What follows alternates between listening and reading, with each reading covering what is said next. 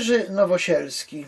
Od urodzenia przeznaczeniem Nowosielskiego wydaje się być ekumenia, zgoda. Wychowany na styku dwóch kultur wschodu i zachodu, swoim życiem i sztuką przerzuca kładkę nad pęknięciem chrześcijaństwa i nad rozbiciem współczesnego człowieka. Jego malarstwo, będąc syntezą Bizancjum i awangardy, nadaje całej rzeczywistości wymiar sakralny.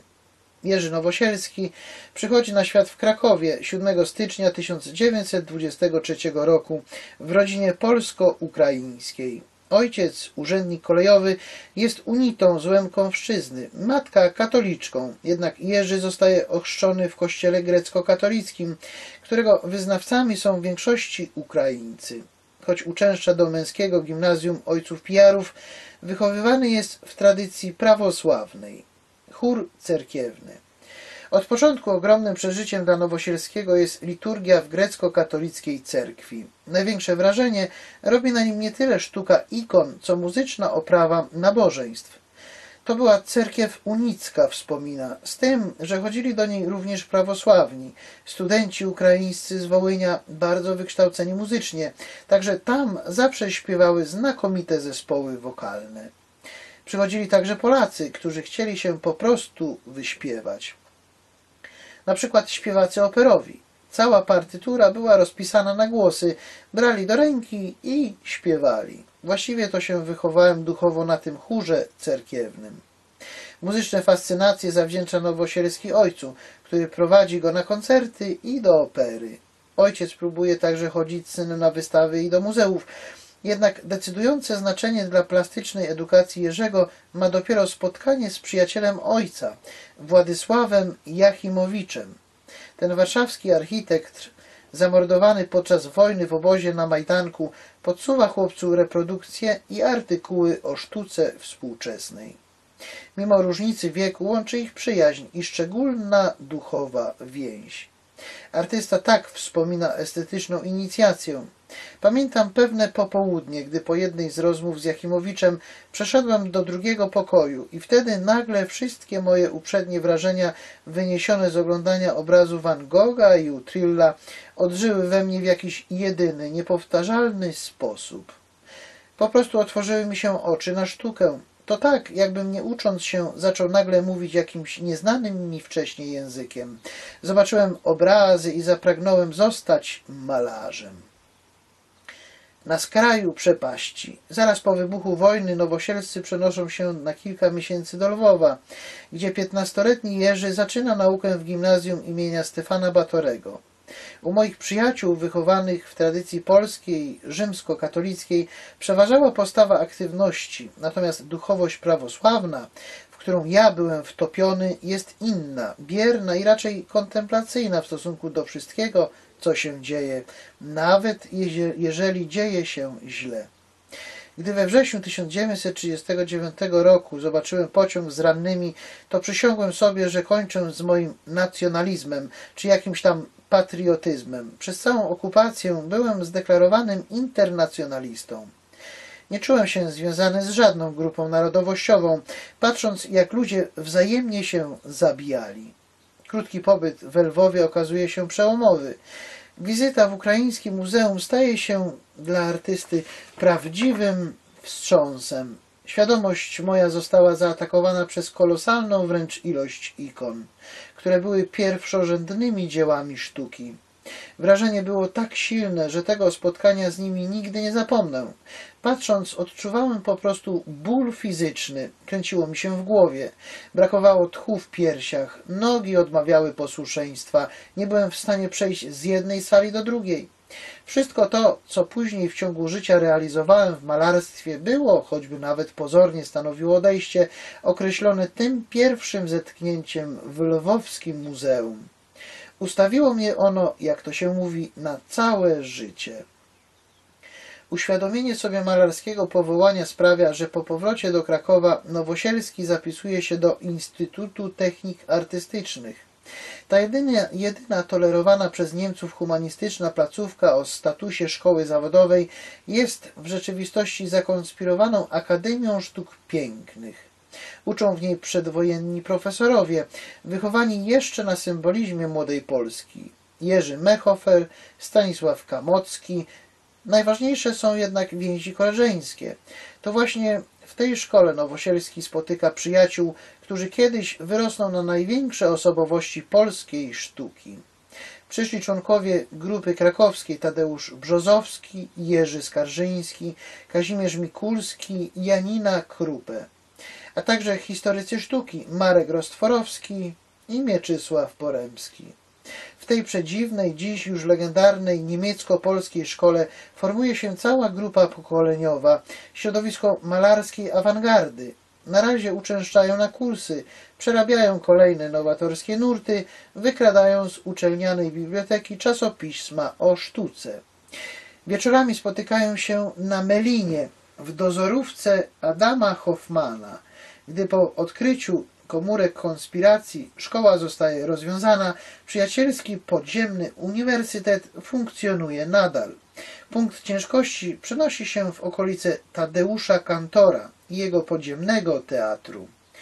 Oprócz premiery balladyny w mieszkaniu Przyszewskiej ma miejsce także konspiracyjna wystawa grupy. Obrazy młodych malarzy mają wszelkie cechy juweniliów, dzieł artystycznie niedojrzałych. Jednak okupacyjny kontekst, sytuacja sztuki tworzonej na skraju przepaści dodaje im powagi i patosu. Sztuka, która rodziła się wówczas, napisze Mieczysław Poremski, rodziła się z zagrożenia i rodziła się przeciw zagrożeniu. Domy, ludzie przechodzące ukosem ulicą dziewczęta, wszystko co malował i rysował wówczas 19 czy 20-letni Nowosielski, w każdej chwili mogło po prostu przestać istnieć, nie mogło jednak przestać się liczyć. Nowosielski nie bierze udziału we wszystkich tych przygotowaniach. Wiosną 1942 roku pisze do Ichumena Ławry świętego Jana Chrzciciela pod Lwowem, deklarując wolę wstąpienia do klasztoru po trzymiesięcznym kursie maturalnym na pewien czas traci wiarę. Jednak zaczerpnięta w ławrze praktyczna nauka pisania ikon zostanie mu na zawsze. Realizm spotęgowany. Zaraz po zakończeniu wojny Nowosielski zapisuje się do Krakowskiej Akademii Sztuk Pięknych, do pracowni, do pracowni Eugeniusza Eisbicha. Wytrzymuje tam zaledwie półtora roku, po czym rzuca studia. Powtarza się sytuacja z Instytutem Artystycznym. Prawdziwą szkołą i uniwersytetem staje się towarzyskie życie artystyczne, spotkania w pracowniach, wspólne przedsięwzięcia. Mimo zagęszczającej się sytuacji politycznej, grupa młodych plastyków, zwolenników nowoczesności jest bardzo aktywna. Organizuje odczyty, kolejne wystawy, publiczne dyskusje. Tymczasem wojna pozostawiła w ludziach uczucie duchowej pustki i zniechęcenia. Stąd tęsknota za stałością kryteriów, za sztuką humanistyczną, bliższą człowiekowi. Dyżurnym hasłem staje się realizm, termin pojemny i nieprecyzyjny. Podpisują się pod nim nawet awangardowi twórcy z kręgu kantora. To właśnie w ich środowisku rodzi się program realizmu spotęgowanego, sztuki, która nie będzie tylko estetyczną konwersacją, lecz potrafi dźwignąć ciężar czasu, pokazać prawdę o rzeczywistości. Nowosielski zostaje asystentem kantora w Wyższej Szkole Sztuk Pięknych. Niestety niebawem kantor zostaje odwołany z funkcji. Okres oficjalnej niezależności środowiska artystycznego trwa zaledwie kilka lat. Jego ostatnim epizodem staje się słynna pierwsza wystawa sztuki nowoczesnej na przełomie 1948 i 1949 roku, gdzie Nowosielski pokazuje swoje trójkątne abstrakcje. Jeszcze w trakcie trwania wystawy artysta poślubia malarkę Zofię Gutkowską, koleżankę z Instytutu Artystycznego. Pół roku później, na czwartym zjeździe SPAP w Katowicach, oficjalnie zadekretowany zostaje socrealizm, nowa sztuka dla mas. Nowosielski, lepiej znający historię Rosji i orientujący się we wschodnich realiach, od początku ma mniej złudzeń co do polskiej sytuacji politycznej. Sprawy ideologiczne traktuje jednak z dużym dystansem. Sztuka nie boi się propagandy, sztuka się boi miernoty, ocenia sytuację. Wiązałem z socrealizmem pewne nadzieje. W pewnym momencie myślałem, że na tej fali przejdzie wielka sztuka, sztuka nowej przygody, na przykład coś w rodzaju hiperrealizmu. Wciąż zachowuje niezależność, przez cały czas maluje ab abstrakcje, lecz nie odrzuca też postulatów nowej doktryny. Najwyraźniej jednak nie jest w stanie wykonać ideologicznie poprawnego obrazu. Wszystkie jego płótna są odrzucane z oficjalnych wystaw. Maluje masywne akty, sceny sportowe, komiczne akrobatki i pływaczki. O tych obrazach napisze po latach Jerzy Tchórzewski, że są dziećmi socrealizmu z nieprawego łoża i to dziećmi udanymi.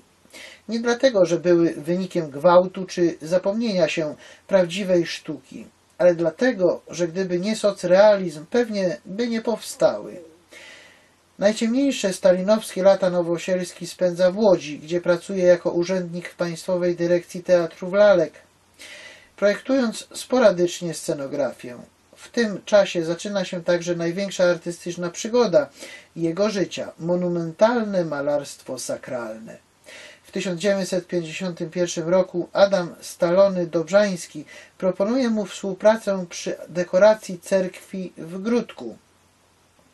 Niebawem przychodzi czas na pierwszą samodzielną realizację polichromię cerkwi w Kętrzynie, gdzie został proboszczem wielki teolog prawosławny i poeta ksiądz Jerzy Klinger. Dyskusje z księdzem Klingerem obudzą w Nowosielskim zainteresowania filozofią i teologią. Wkrótce zresztą odzyska wiarę i zostanie praktykującym członkiem prawosławnej wspólnoty. Będzie to jednak, jak twierdzi, zupełnie inna wiara, bardziej świadoma od tej, która towarzyszyła mu w dzieciństwie.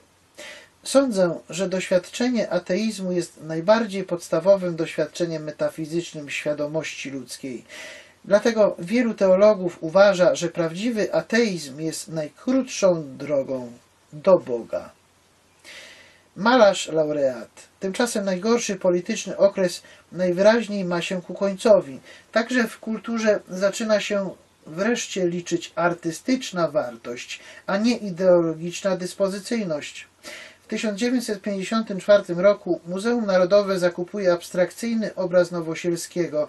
Rok później ma miejsce jego pierwsza indywidualna wystawa w Łodzi. W 1956 roku artysta pokazuje 12 płócien na 28 Biennale Wenecji. Ukazują się artykuły na jego temat. Zaczyna pracować w Łódzkiej Wyższej Szkole Sztuk Plastycznych jako pedagog. Mimo odległości wciąż utrzymuje żywe kontakty z Krakowem, gdzie w 1957 roku razem z innymi kolegami z grupy młodych plastyków reaktywuje grupę krakowską, najbardziej długowieczne stowarzyszenie artystyczne w powojennej Polsce. Kiedy w 1962 roku dostaje zaproszenie z krakowskiej ASP, po 12 latach łódzkiej emigracji wraca z żoną do rodzinnego miasta. Odtąd praca na uczelni obok malowania kolejnych kościołów i cerkwi staje się jedną z najważniejszych jego aktywności. Przez 30 lat do 1993 roku profesor Nowosielski prowadzi pracownię na Wydziale Malarstwa, kochany przez studentów i cieszący się w środowisku akademickim niezwykłym autorytetem. Od lat powtarza swoim studentom, mówi w wywiadzie, ostatnim two, Twoim zmartwieniem ma być lęk o Twoją indywidualność. Jeżeli Pan Bóg zechce, to będziesz indywidualnością, a jak nie, to chociażbyś na głowie stawał, będziesz powielał innych.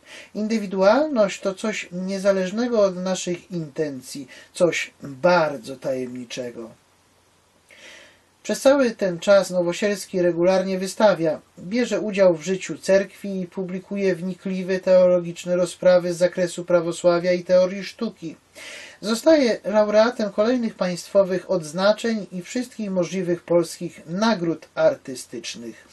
Od 1990 roku stale współpracuje z galerią Andrzeja i Teresy Starmachów, czego efektem staje się założenie w roku 1996 Fundacji Nowosielskich, wspierającej rozwój sztuki współczesnej. Kiedy w 1993 roku obchodzi 70. urodziny, zwierza się na łamach Tygodnika Powszechnego.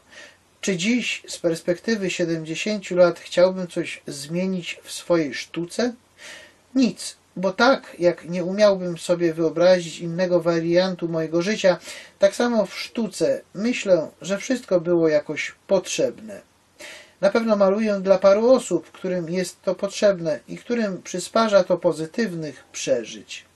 W sztuce tkwi siła, która jest w stanie uszczęśliwić człowieka, w jakiś sposób go przemienić, ale to działa bardzo cichutko, bardzo cząstkowo, delikatnie i tylko czasem wybucha jakimś olśnieniem, uszczęśliwieniem. Gdy Muzeum Narodowe w Poznaniu przygotowuje ogromną jubileuszową wystawę Nowosielskiego, mówi w wywiadzie ja już nie mam żadnych specjalnych planów, bo jestem stary. Mam jedynie chęć znalezienia jeszcze sił, aby namalować parę dobrych obrazów. Może właśnie tych najlepszych w moim życiu? Ostatnim przyznanym malarzowi zaszczytem jest tytuł doktora honoris causa Uniwersytetu Jagiellońskiego z okazji jubileuszu 600-lecia uczelni. W laudacji wygłoszonej przez profesora Władysława Stróżewskiego znajdą się takie słowa. Sztuka Nowosielskiego łączy najwyższy artyzm z głęboką, bezbłędną myślą teologiczną. Prowadzi więc do Boga, tak jak to zawsze czyniła wielka sztuka religijna, zarówno, zarówno przez piękno, jak i przez prawdę. Jestem okazem niekonsekwencji malarskiej. Nigdy w życiu nie powiedziałem sobie, że mi czegoś nie wolno. Przynajmniej w sztuce wolno mi wszystko. Jerzy Nowosielski, 1987 Abstrakcja Nowosielskiego to druga półkula jego malarskiego świata. Bez niej nie wirowałby on tak precyzyjnie i zapamiętale wokół własnej osi i swojego słońca. Jerzy Tchórzewski, 1993 Malarz to nie jest żaden zawód, to jest stawanie się, ciągłe ryzyko, mierzenie się z największą niewiadomą. Jerzy Nowosielski, 1980 Rzeczywistość empiryczna jest to rzeczywistość jedyna, jaka jest mi dana. Z tą rzeczywistością jakoś sobie muszę uczuciowo poradzić. Muszę ją jakoś oswoić, ugłaskać, jakoś ją pobłogosławić. Muszę ją jakoś uświęcić, zbawić. Jerzy Nowosielski, 1993 Dar ikony jest związany z takim przewartościowaniem ludzkich namiętności, by nie były one zgubne dla człowieka, a stały się dla niego zbawcze. Tu tkwi sens ikony. Jerzy Nowosielski, 1979 Mam często wrażenie, że moje świeckie obrazy są bardziej ikonami niż moje ikony właściwe. Dzisiaj wiemy, że cała sztuka, i ta święta, i ta świecka, pochodzi od bogów. Jerzy Nowosielski, 1991 Wszystkie prawdziwe ikony mają taki charakter. Widać w nich, jak człowiek swym śmiertelnym ciałem uczestniczy w nieśmiertelnej chwale Boga. Jerzy Nowosielski, 1964 W całym malarstwie współczesnym nie ma równie natchnionej geometrii. Jerzy Tchórzewski, 1993